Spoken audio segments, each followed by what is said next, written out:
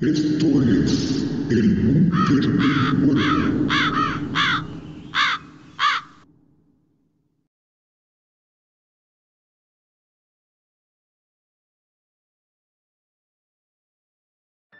La pasada madrugada del viernes 29 de enero del presente 2021, su deceso fue anunciado por su amiga Lana del Rey. Sandy ciertamente alcanzó gran parte de su fama actual gracias a aquel finijario que comenzó a rondar en internet a mediados de la década de los 2000, pero su vida fue mucho más amplia que eso, y no sería ningún error decir que más allá de la opinión que puedas tener sobre ella, es un ejemplo de vida, de sobreponerse a cualquier adversidad.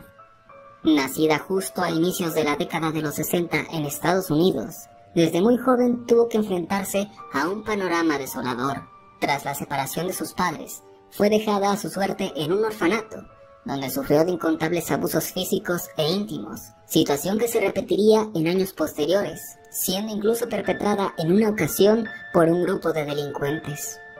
Creciendo en un mundo que parecía cerrarle las puertas, optó por trabajar durante algunos años en el negocio de la prostitución, algo que dejaría al conocer a quien fuera su esposo, con quien iniciaría una relación a inicios de los 80, y aunque esto le trajo algunos años de felicidad, justo cuando la terrible enfermedad de la poliomielitis, con la cual había lidiado durante gran parte de su vida, se hizo mucho más presente y notoria. Apenas unos años después, su esposo moriría al iniciar la década de los 90, dejándola sola de nuevo. El fallecimiento de su pareja fue un punto de quiebre en su vida, pues a partir de ahí, quizás como una forma de superar la adversidad, darse ánimos, o sencillamente iniciar una nueva vida, cambió su nombre de nacimiento, Johnny Baima, al que sería su nombre artístico, Sandy Crisp, con el cual se adentraría en el mundo de las drag queen y sería conocida bajo el mote de la diosa conejo. Sandy tuvo un éxito notorio en el ambiente del entretenimiento underground de la comunidad LGBTTIQ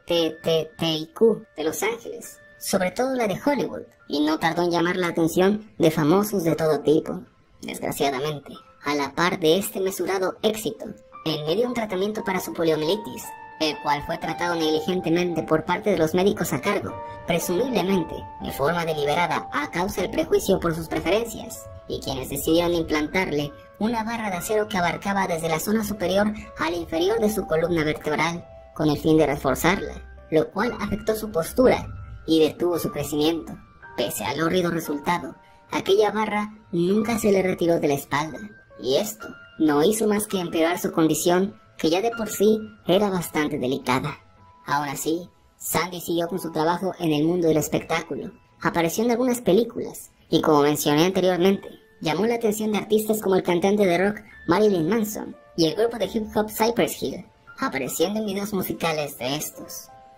Chris también batalló a lo largo de su vida con el VIH, y aunque es meramente especulativo el momento en el cual pudo adquirirlo, este asunto que no hizo más que sumarse a su cúmulo de desgracias, hizo que muchas más personas empatizaran con ella. Y es que, a decir de muchos, Sandy no solamente era un símbolo para su comunidad, sino de todo el mundo underground, de todo lo extraño y fuera de la norma, y sobre todo, de alguien que luchaba pese a todo. Ahora bien, el video por el cual la conocimos, aquel fragmento que causó terror en muchos internautas durante años, fue creado por un canal de YouTube llamado Hoveida Walrus, quien hizo el edit recortando algunas escenas de la película biográfica de Chris llamada The Goddess Bunny, el cual es una suerte de documental donde Sandy cuenta algunas cosas de su trabajo así como de su vida. Lo único que hizo este usuario fue recortar la escena del baile de tap y deformarla a la forma que seguramente ya conoces. De hecho aquí hubo una confusión, pues aunque el video en cuestión era conocido como Obedece a la Morsa, y hay razones para llamarle así, el nombre viene más que nada del usuario que lo subió, quien se especializaba en hacer ediciones de este estilo. Aparentemente no era el nombre original del clip,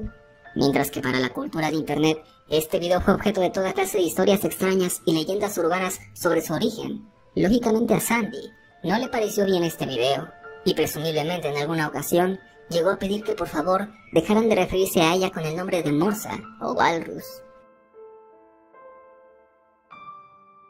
Sandy pasó los últimos años de su vida en un hogar de asistencia. Sus enfermedades le dejaron en un estado sumamente delicado, y valdría la pena decir que vivió más tiempo de lo esperado, hasta que llegó su lamentable fin. como mencioné hace unos minutos. Más allá de la postura que puedas tener con respecto a la sexualidad de esta persona, su historia es realmente admirable, pues aunque toda su vida fue un cúmulo de desgracias, ella siempre siguió adelante sin rendirse, y al menos a juicio personal, eso habla mucho de su fortaleza mental, una inspiradora, por decirlo de algún modo. Y aunque estos últimos años quizás su fama fue fundamentada de la forma incorrecta, desde la burla y el miedo, su relevancia en la cultura de Internet, sea cual sea el recuerdo que tengas de ella, quedará para siempre.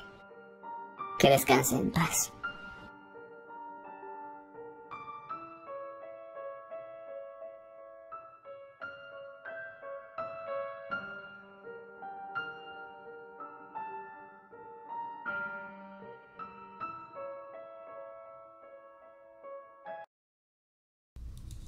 Esto fue el búnker del